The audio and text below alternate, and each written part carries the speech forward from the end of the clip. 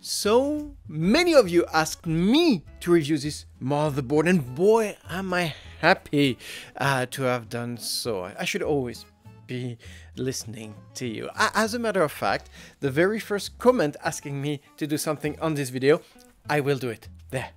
I said it. Obviously, I will be doing some heavy comparison between uh, the ROG Strix B850F Gaming and its more expensive E variant uh, sibling that I had reviewed a few days ago and you should be uh, uh, uh checking out if you haven't done so. So today we're reviewing the magnificent ROG Strix B850F Gaming Wi-Fi from Asus the board which will make you regret spending your money on healthcare instead of your new gaming build. Fun fact for you, Herpes Simplex B is easily avoidable if you replace every sexual encounter you'd ever have with watching my channel. Starting with the obvious, the ROG Strix B850F Gaming Wi-Fi retains a very robust 8 PCB layers which has been guaranteeing a perfect insulation as well as an improved component cooling. And this is a very first step towards a premium motherboard of any kind today. Design-wise, this year's uh, Strix plays nicely between a retro 8-bit feel and a more modern laser-cut metal dressing. We are still into the serious dark uh, uh, space theme, but the Strix retains some punk fun uh, underlines here and there with a bit of turquoise and pink logoing going around. The board RGB retains a rather classy 8-bit large ROG eye logo, no tacking embedded RGB LEDs, thank god, but instead we have our usual three addressable RGB connectors for the most creative amongst us.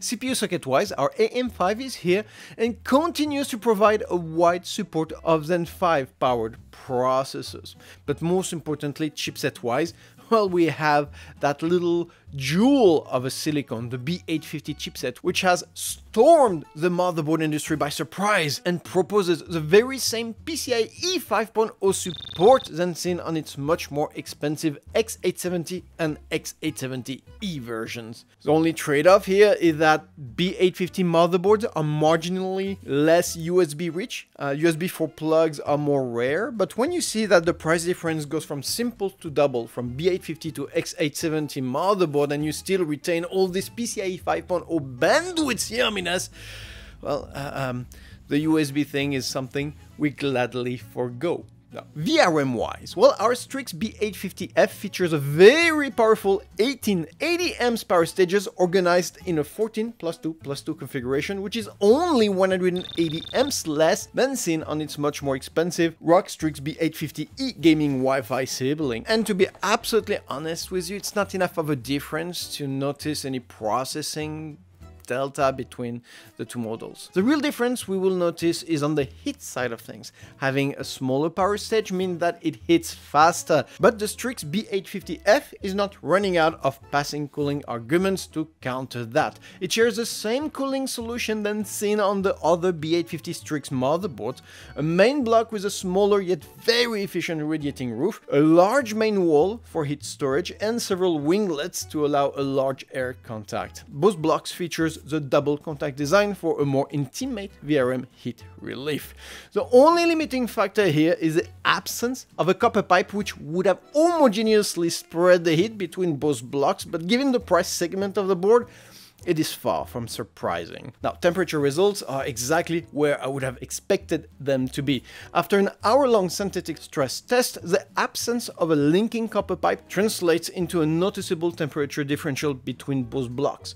The main block remains below the 40 degrees Celsius, while the side block gets closer to the 50 degrees Celsius limit. Now for the both of them, temperatures peaked at about 15 minutes, identifying the precise point where our block's heat saturation is reached. In all and for all, the temps are stellar and are way below any kind of damaging point for the board, hinting at a long-lasting product. We even have some thermal room for some uh, overclocking because the B850 chipset is overclockable or overclocking able or Overall, Asus delivers a, a, VRM solution which remains loyal to the Strix branding. Powerful, agile, and ice cold. An absolute pleasure to witness as a reviewer. Now, I would not want to see this board paired with anything less than a Ryzen 7, but even a Ryzen 9 will find this as a as a very comfy home in any kind of clock and overclocking configuration. So obviously a very big VRM kudos to Asus for this. Now RAM-wise, our Strix F supports up to 256GB of DDR5 RAM rated for an 8000 million transfers per second worth of data swap organized in a dual channel configuration. The board checks all the right boxes. Uh, it gives us the ability to have at least one very large 64 gigabyte uh, stick to get to the upper transfer rate, which will be great not only for AAA gamers, but more noticeably for production-oriented users, giving yet an additional uh, versatile um, uh, argument to the B850F. Now, storage-wise, well, we have our usual four NVMe connectors, one less than seen on the B850E. Now, the first two are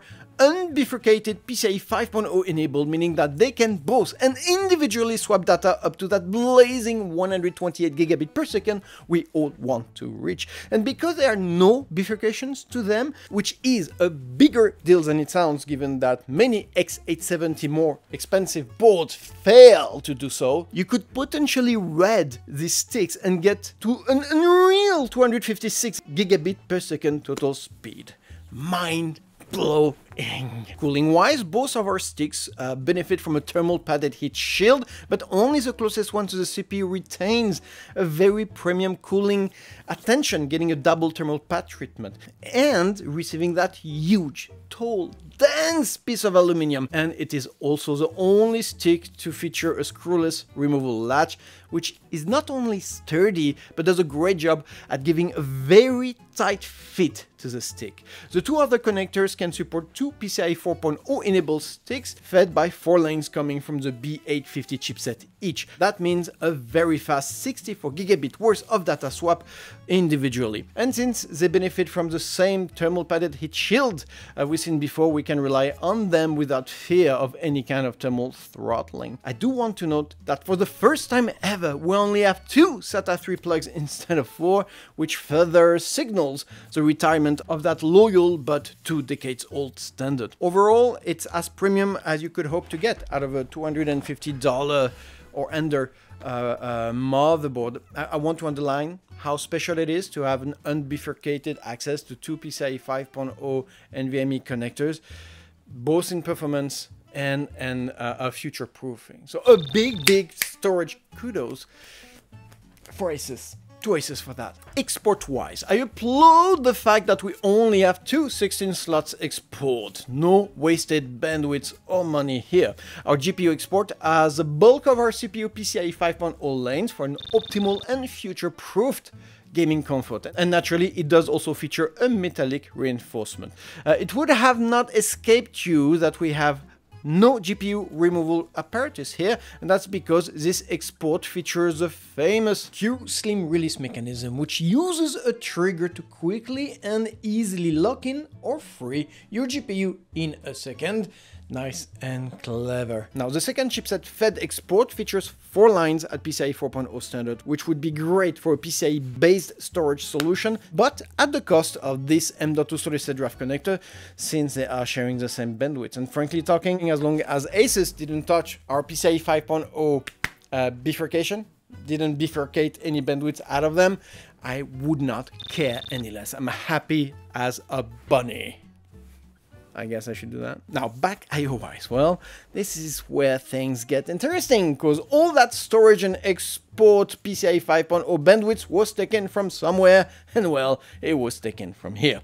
We have a rather limited 70 gigs per second worth of USB plugs, and when I say limited, it's actually not that bad, especially knowing that it is completed by an additional 15 gigabit per second worth of connectors for a total of 85 gigabit per second. Now, fun fact for you, this is a very same total I had seen on its competitor a few days ago on the MSI Mag B850 Tomahawk Max Wi-Fi. So yeah, seems like this PCIe 5 slash USB uh, configuration is quite popular amongst manufacturers this year. Now we also have a couple of video outputs for integrated graphics. That's beautiful, but most importantly, connectivity wise, we got an updated solution. Nothing fancy, but nevertheless updated. We have a rather good 2.5 gigabit LAN, but most importantly, we have our fiber graded low latency fast uh, Wi Fi 7 dual band adapter.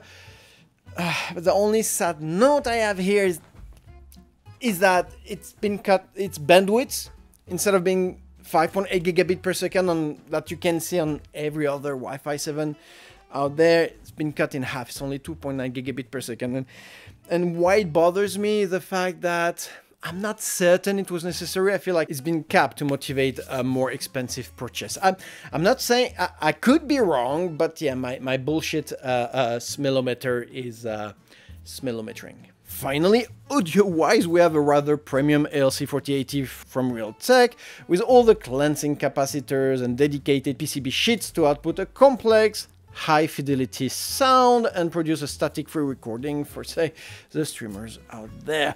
Overall, the big absent here is a USB 4.0, but like I said, on B850 motherboard, it's not surprising. I think the most important here is that Asus did a great job uh, maintaining several plugs, even though it had to use some legacy standard. Like I said, this is not the most best better back IO you'll see, but it places it solidly above average. Now, I do need to mention that if this was not enough, you know, bandwidth or back IO plugs for you, we do have a Thunderbolt 4 connector, so at a cost, you can always, you know, upgrade your board with an extra 40 gigabit per second worth of bandwidth good to know. Now cooling wise, well our Strix F stays in the norm with its 7 PWM fan connectors, including one which can doubles up as an all-in-one water pump. We also have a thermal sensor which goes towards a single loop custom water cooling system. It's not completely out of the question here. Troubleshooting wise, again, we have uh, what we could expect. Uh, um, an easy debugger for vague indication of where a problem may lie.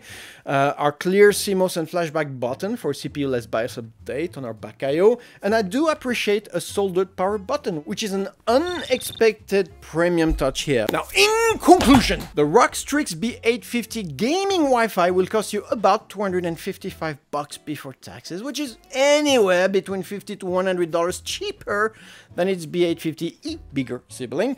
And the whole question is, do we lose a lot of the features we saw on the excellent ROG Strix B850 gaming Wi-Fi? B850E gaming Wi-Fi, sorry. Quick answer is a solid no. Truth of the matter, it retains the bulk of what made the B850E such a must-buy. The imposing VRM, the absolute master control in terms of bandwidth availability, and the memory versatility and what this board can do. Now, in short, what I can say is that if you're looking for what is probably the most premium, most powerful, most sturdy, most bandwidth hungry motherboard today at that price range, the, the 200 to $300 motherboards, there's really no better value. And nowhere else your money wants and needs to be.